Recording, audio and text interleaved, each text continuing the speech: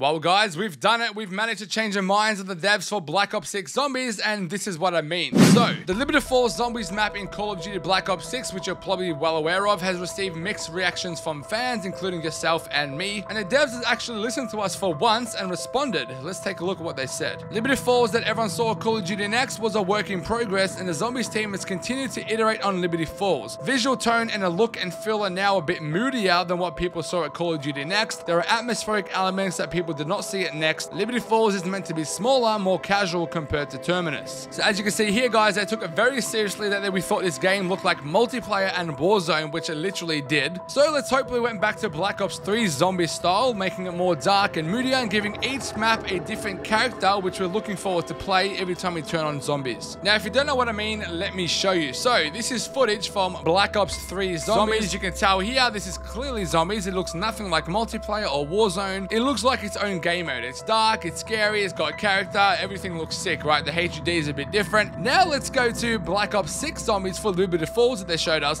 What the hell is this? Is this multiplayer? Is it Warzone? Is it zombies? How the hell are you supposed to know it all looks the same? So these are the concerns that they've addressed. They probably made the HUD look a lot better. I do know it's customizable, but the default one anyway. And hopefully they put some darker tone to the map as well, make the zombies a bit scarier, etc. And less stuff on the screen. Like we just want a zombies map that's simple, we can destroy zombies and go to sleep. So devs, if you're watching this, bring back Chronicles 2. Thank you. What are you guys' thoughts? Drop a comment down below, drop a like, and subscribe. I see you guys with a new update soon. Joey Rahmz out.